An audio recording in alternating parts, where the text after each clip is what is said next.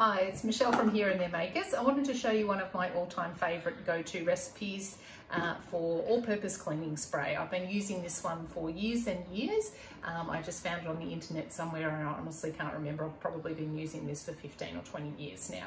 Uh, so the key thing with any spray is to get a quality spray bottle, whether that's glass um, or plastic. You generally I haven't seen any non-plastic triggers, but a quality trigger that has got a little filter on the bottom is really key. Um, I would be um, inclined to pay more for a good spray bottle that's going to last as opposed for a cheapo one that you're going to have to replace in a short time and it's going to end up in landfill. That's the way I view it, but anyway, uh, we all have to make our own decisions there. So I just make this straight into the bottle, pop a funnel in. We need three tablespoons of white vinegar. Okay. So, one, two, and three. Now, depending on your dishwashing detergent that you have and how concentrated it is, you'll need to use one to three tablespoons of detergent. Now, this isn't the brand that's in the bottle. That's This is a refill from our store, the Kin Kin dishwashing detergent, which is very concentrated. And so I just use one tablespoon of this one. So I'm just going to pour that one in there. Whoop, scoop it on out with my finger like that. And then I'm going to add in a teaspoon of uh, essential oils. I'm going to use tea tree oil because I really like the um, antibacterial, antiviral, antifungal properties of tea tree oil. Uh, but you can use whatever you like the smell of. So just pouring in that teaspoon of essential oils and then one teaspoon, one to two teaspoons, depending on your preference of borax powder. Okay, so I'm just gonna pop that through there.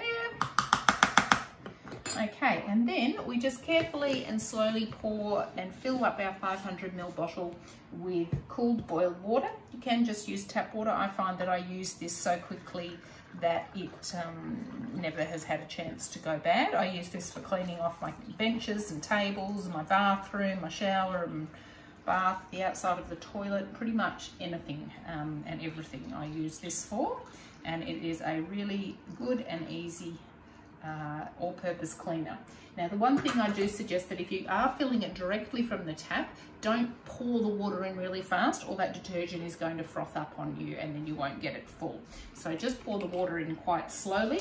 The other thing that I would advise against is to put uh, Castile soap into this recipe instead of detergent. If you mix vinegar and Castile soap, the Castile soap will separate again into its oil components that it originally started as and ruin your recipe and be a very gluggy uh, consistency. So make sure you're using a detergent, not a Castile soap. There are plenty of all-purpose sprays out there that do use Castile soap, but they won't use vinegar at the same time. So that is my go-to. Make sure again that you've labeled that. You don't want anyone um, ingesting that or doing something with it and not remembering what you've put in there. So make sure you've popped all your ingredients and instructions on the outside there um, with a Sharpie or with a label maker or something. Anyway, thanks for joining me and happy cleaning.